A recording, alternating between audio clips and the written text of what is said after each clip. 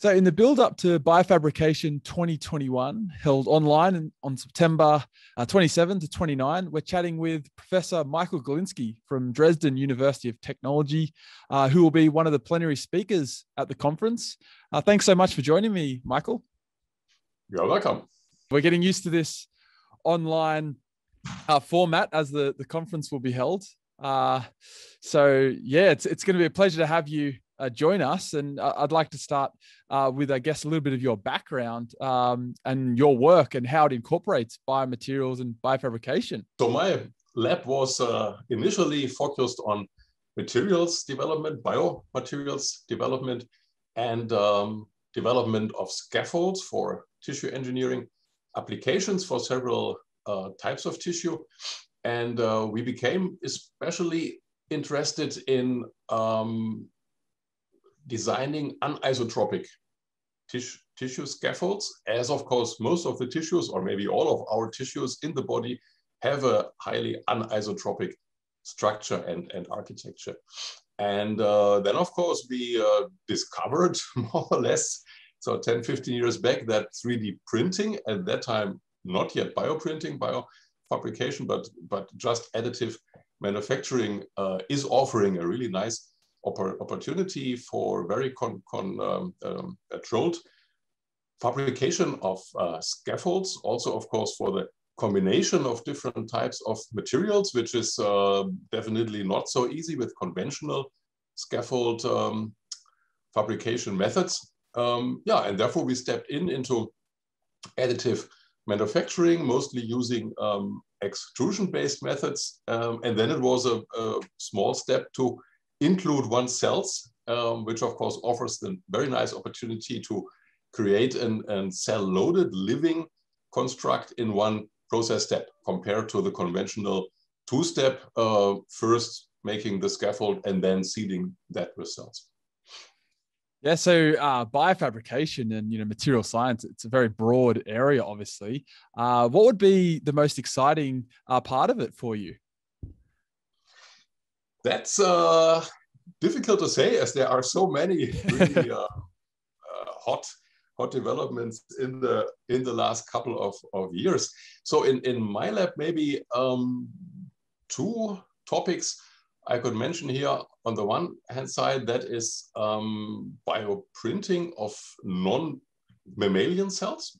So up to now, uh, really the, the big majority um, of the community is focused on printing of either human cells or animal-derived cells for medical applications. And uh, already quite a couple of years back, we started first just for fun to include um, completely other cell types into the bioprinting processes. So we have been the first worldwide um, successfully printing um, green microalgae. Wow.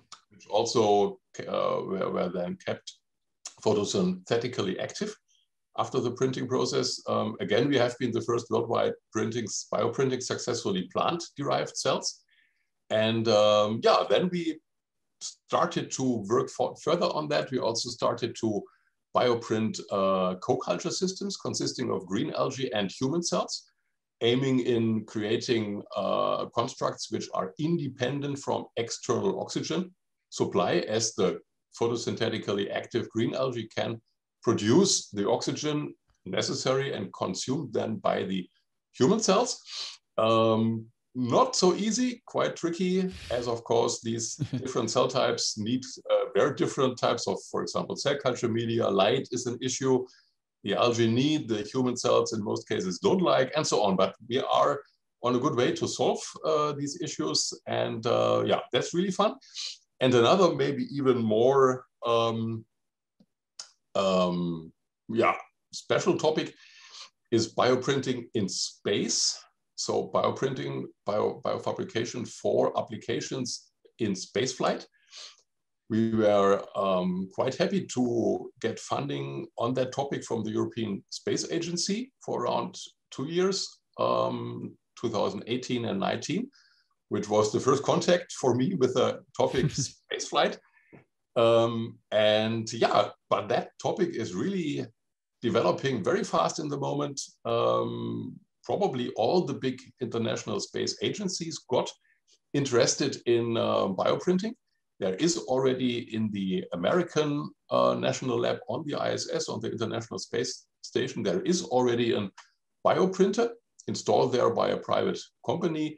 The Russian um, Space Agency has um, sent to the ISS a machine for bioassembly, so definitely not bioprinting, but bioassembly. Um, our well-known society member, Vladimir Mironov, is um, uh, heavily in, in, in involved in that project. And now also the European Space Agency is definitely planning to send a combined extrusion and um, inkjet-based bioprinter to space. And yeah, so we have started to in, um, investigate in Dresden um, the technical requirements, the issues related to extrusion printing under microgravity con conditions, and of course, mainly for what bioprinting really could be used in space. And that's, uh, yeah, that's a really fascinating topic. I definitely also will include some uh, parts in, in, the, in the lecture. Yeah, fascinating. And I guess you've you've sort of mentioned it there. And as I mentioned, you're going to be one of the plenary speakers for the conference. Um, I'm wondering what the uh, gist of the latest news you'll be sharing with us at BioFab 2021 will be. What I definitely will include um, is a part of our work on combinations, combination of different types of materials, especially so different materials like soft cell-laden bioinks and calcium phosphate bone cements which set after the extrusion printing process to really stiff and solid um, calcium phosphate um, frameworks. Combination of different technologies. So we are heavily working in the moment on combinations of um, extrusion printing, bioprinting, and melt electrowriting, which also leads to um, constructs with fascinating novel opportunities. We are just stepping into um, combinations of extrusion and uh, inkjet printing and bioprinting, which is also an, an uh, opportunity for really novel type of, of tissue models. Um, and last but not least, also a combination of different cell types. I already mentioned that co-cultures um, consisting of uh, photosynthetically active green algae and human cells, but um, there are many other um, combinations now in the family of the human cells um, to yeah, have more uh, or to, to realize constructs which come closer to the biological tissues by combining different cell types in a highly organized, predefined manner.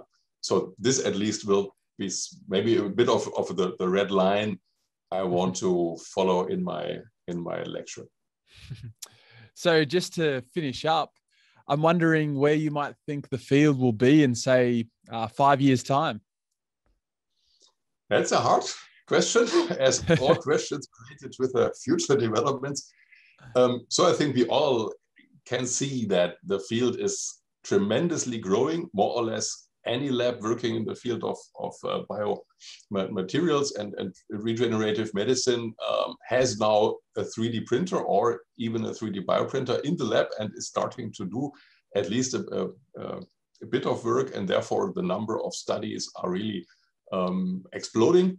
Not everything which is published published really brings the field forward. That's of course also logical. Uh, nevertheless, we have a, a, huge databases now. We have a we have a huge um, variety of materials suitable for both um, material printing and of course also bioprinting. We have um, a huge selection of, of hardware, of uh, printers which allow also the combination of different printing methods, as I've mentioned before, which, which really opens up um, possibilities for novel types of constructs. And therefore, um, I have at least the hope that we are uh, moving now forward uh, in, in two main di directions. One is to be able to really provide more functional tissue models so that we are not just proud that the cells are still living two weeks after printing, but the, the cells really are or at least become over time functional, mm -hmm. um, which of course is, is the cruel uh, question for tissue models like liver, uh, kidney, whatever, they, they need to, to become functional. And the second point is that um, I am quite sure that we will be able to to become um, or to yeah to to realize more and more bioprinted bio fabricated constructs of clinically relevant mm. dimensions. So we can read about printing a human heart, printing a human kidney, and then if you look in the in the, um, the paper, it's the size of a mouse organ. uh, and so one of the really fundamental limitations is um, making the things bigger, but still, of course, viable. And then we are running into problems with, of course, oxygen supply vascularization. All that issue is definitely not solved yet. Um, yeah, but I think in these two um, topics, we will for sure see significant progress in the next five years. Whereas I'm a bit skeptical concerning clinical trans translation. Mm. Um, for a number of tissues, uh, the technology is ready for my um, feeling, like skin, for example. On the other hand, we have these extremely strict regulatory problems. And just now, a couple of days back, European Union has started, uh, or a new type of regulation came into force here.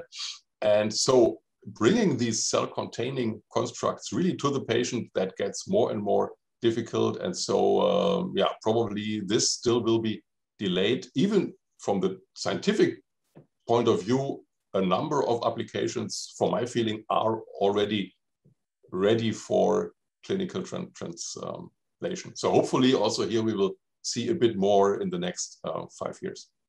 Yeah, well, it's yeah certainly an exciting time uh, for the field of biofabrication, and um, you know your talk is no doubt going to be just as exciting. So I'm looking forward to it, and I'm sure everyone that's um, registered and that will register uh, will look forward to it as well. And uh, yeah, thank you so much for taking the time to catch up and build a bit of excitement for um, the conference. You're welcome, and also looking uh, forward very much to this to this conference. And of course, I'm very honored to be one of the of the plenary speakers there.